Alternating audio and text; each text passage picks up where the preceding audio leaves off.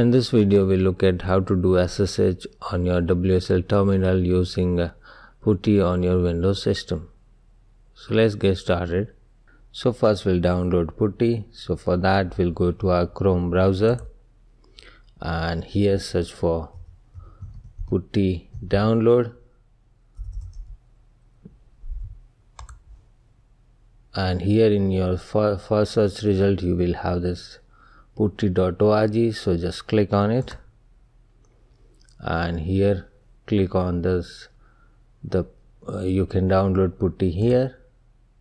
So once you click on this one in the next page uh, you will have this the exe file for your windows system. So i have my 64 bit.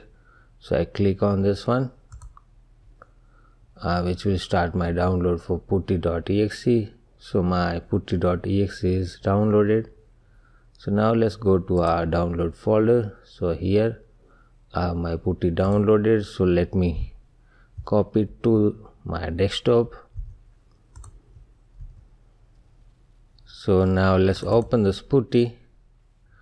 And for doing the SSH on WSL just say local host and the go I mean the port will be the default 22 and say open.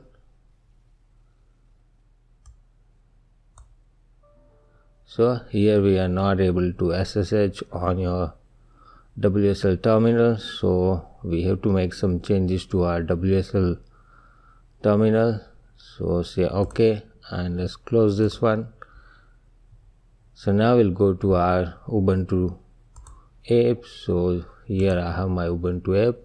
So first we'll do a sudo access to the current user. So I say sudo su and I enter my password. So uh, I am using my sudo access. Now first we'll update our Ubuntu. So for that I say apt get and say update so it will start my update which will take a while. So our update is completed. So now first we'll uh, uninstall our ssh service. For that uh, here so i have this command. So let me copy this command and which will remove this open ssh server from my uh, ubuntu and just enter and say yes so now our open SSH server is uh, uh, uninstalled. Now we'll uh, reinstall this open SSH server. So for that, uh, let me copy this command and execute this. So which will uh, reinstall my open SSH server. So our open SSH server is reinstalled. So now we have to change our SSH config file. So for that, uh, we're gonna open this uh, sh file in VI editor. So let's open this one here. In this file you have to search for this password authentication and have to set it yes. So let's scroll down. So here you have this password authentication. So you have to say yes and at the bottom you have to add one line. So here I say enter and here you have to copy this uh, allow user and you have to set your user. So I'm using admin 1 as a user and I save this changes. So our uh, ssh conf file is changed. So now let's look at what is the next step so now we'll check our services. So for that let's copy this command and let's run it. So it says ssh is not running. So for that if you want to start it this is service ssh start. So which will start your services. Now uh, you have to restart. For that you have to say full restart so let's copy this command as well. So it's restarted your services. So now what we have to do we have to run this command uh, visudo. So let me open this and enter. So here what you have to do you have to search for this sudo all.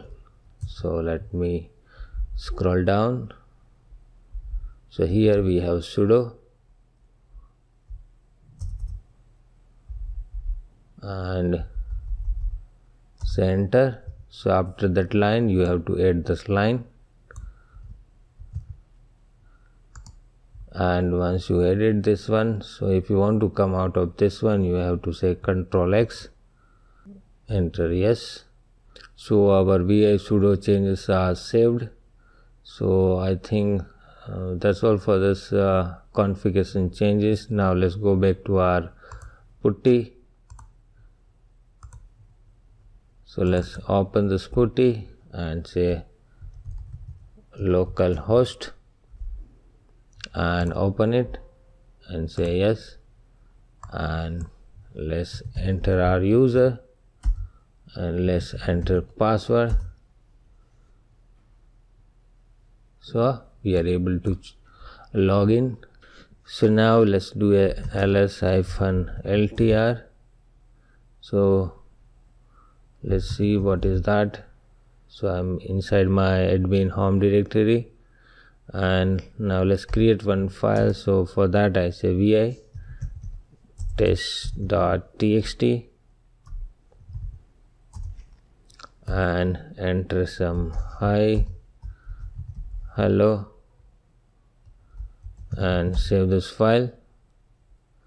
So our file is created now let's check this file in our ubuntu system. So i go to this ubuntu f and say hyphen ltr and if i say get test so i can say hi hello.